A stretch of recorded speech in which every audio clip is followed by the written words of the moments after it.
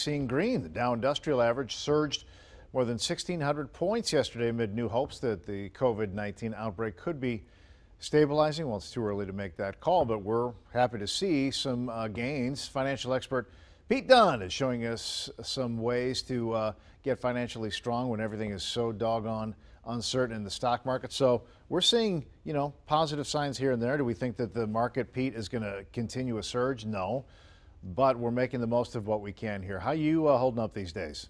Yeah, I'm doing pretty good, birthday boy. Uh, but I'll tell you this: um, the market is is looking okay. Mm-hmm. But Ray, I got to be honest. I feel like it's disconnected from what it normally tells us. It normally tells us that there's a plan in the economy moving forward.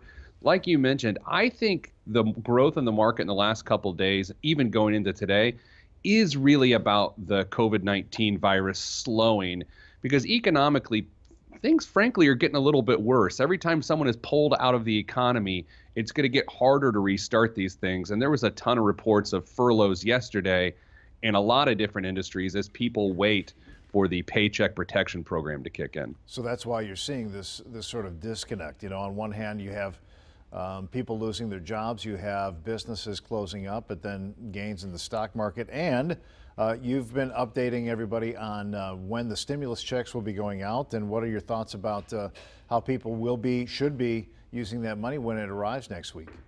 Yeah, so they should be here within the next eight days or so. And uh, if you qualify and you've already suffered financially because of the shutdown, by all means, start with food. That's the first place that you want to efficiently uh, store food for your family over the next couple months. If you haven't been affected by the shutdown yet and you're getting a stimulus check in the next eight days, you know, really try to look forward, Ray, and see if it's possible that your job could be affected and then you would want to save that money. But for those people receiving a stimulus check that are stable employment wise and have an emergency fund, when the economy opens back up, you've got to throw it into the local economy just via spending, going to restaurants appropriately, uh, hiring people to, to work outside your house or inside your house appropriately. Ray, we've got to rebuild the local economy from the inside out. We can't just start buying stuff online. We've got to put the money here locally to rebuild. And I know a big question that uh, people are lobbing at you is, you know, is this is this tax check going to be uh, is it taxable? Will we have to, you know, lose money on the back end of this next year?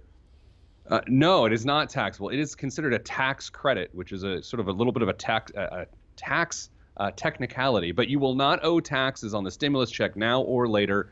It is a brand new tax credit, which credits you for taxes paid, so you're good to go. You know, I love that you always have sort of an analytical approach, but um, you're you're so much more than just somebody who pays attention to how we best use our money. Financial anxiety is something that is really real. And uh, you seem, I mean, you, you've got your dad, you know, and, and yeah. you're plugged into that. And how are you calming people's nerves when, you know, we're worried about job loss, we're worried about paying the bills? What, what keeps you grounded? What keeps you centered? Well, just getting the chance to, to do what I've practiced to do for 20 years. Uh, to some degree, we've got a sinking ship here, and I just happen to be in the bucket business. So I'm glad to help. And, uh, you know, we're all going to need this together. Some of us are going to be down, some of us are going to be up, and you just hope you meet the person at the right time that offsets what you're feeling. I like that. In the bucket business, we'll get the ship afloat. Pete, thank you so much. We'll uh, talk to you tomorrow. Best to the kids and to Mrs. the Planner. Thank you, Ray. All right, we'll see you later, buddy. All right, it's uh, 8.15. Let's check the